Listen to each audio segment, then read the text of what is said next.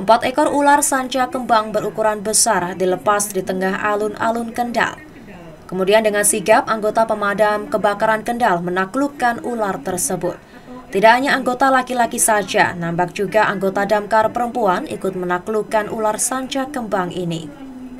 Peragaan penanganan ular ini dilakukan pemadam kebakaran Kendal usai apel peringatan HUT Satpol PP, Satlinmas, dan Damkar di alun-alun Kendal pada Senin pagi.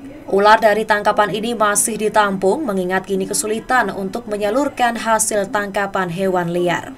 Biasanya ular hasil tangkapan diserahkan ke pengelola kebun binatang, namun pengelola kebun binatang juga mulai kewalahan. Sementara pecinta hewan reptil juga tidak bersedia menampung ular ini. Kepala Satpol PP dan Damkar Kendal, Bambang Joko Pitono mengatakan, pihaknya akan mencoba kerjasama dan koordinasi dengan BKSDA Jawa Tengah. Setiap tahun yang namanya apa kemunculan binatang buas ini kan sudah merupakan apa ya siklus ya. Siklus jadi penanganan e, di tahun kemarin aja ada ular ini sudah banyak kita tangkap. Ya.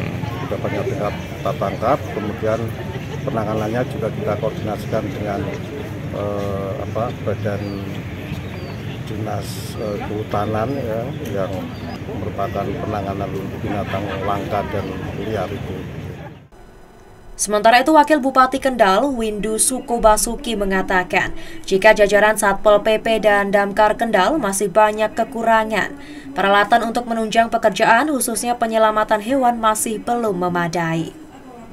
Memang kita jajaran Satpol PP dan ini kan masih banyak kekurangan uh, alat peralatan dalam uh, melaksanakan kegiatan-kegiatan baik bencana alam dan lain sebagainya. Insya Allah ke depan kita akan selalu tambah agar mereka bekerja lebih profesional. Selama kurun waktu setahun, Damkar Kendal sudah melakukan lebih dari 100 kali penyelamatan. Tidak hanya ular, namun juga pemusnahan sarang tawon, serta penangkapan monyet yang masuk ke pemukiman warga. Dari Kendal, Tim Liputan TVku melaporkan.